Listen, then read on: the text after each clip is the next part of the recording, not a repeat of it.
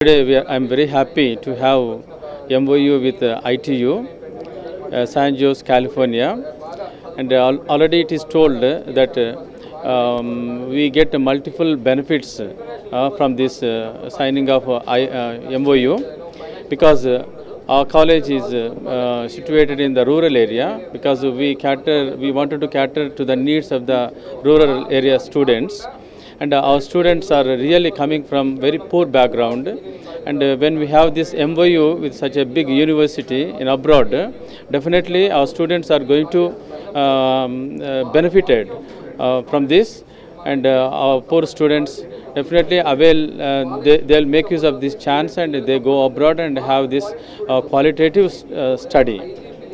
And also we are expecting uh, scholarships from this university and the advantage is uh, that uh, by signing MOU with this university that our students are going to get the scholarships because the poor students can't afford to study by themselves.